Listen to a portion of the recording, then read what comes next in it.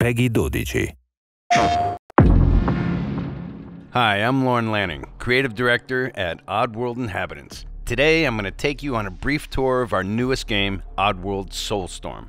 They've always known you would come. Do you know why you have?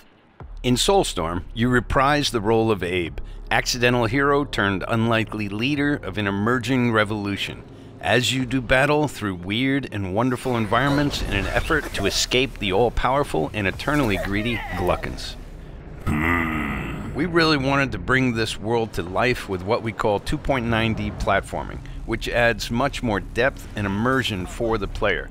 This sense of connection is also reinforced through the use of the DualSense's haptic feedback, as you'll now be able to feel Abe's heartbeat in high alert and suspenseful situations. Oh!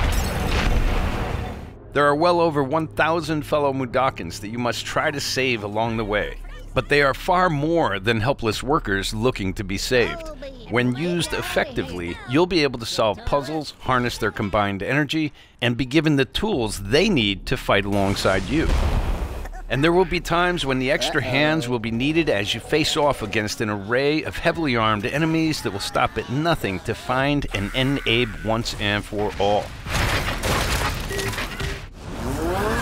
In order to stand a chance against this much larger threat, we gave Abe the ability to scavenge, loot, and pickpocket items from his surroundings and use them to craft an impressive arsenal of his own that he can share with others.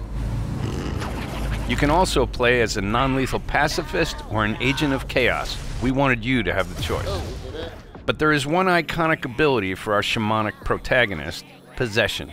This mystical power allows you to take control of your foes and use their strengths and weapons against them, or use them to gain access to paths still ahead.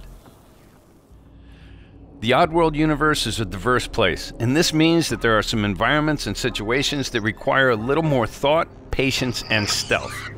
You'll find dark and dangerous caves, heavily guarded industrial sites, and ancient forgotten lands. Here, we've built lots of opportunities for you to test your skills and find different ways to handle things. It won't be easy. If being hunted by an army backed by a shady and wealthy organization isn't bad enough, there are also more dangers in the forms of natural obstacles, ancient traps, trials against swarming dark creatures, and industrial hazards that must be dodged, crossed, and avoided. Ultimately, Abe's journey is one of hope, freedom, and truth. There's a rich and engaging narrative to discover in a world full of lies, and we've been able to bring our characters to life like never before. In true Oddworld fashion, your actions in game will decide the fate of Abe and all those you manage to liberate along the way, and we can't wait to see what you will do.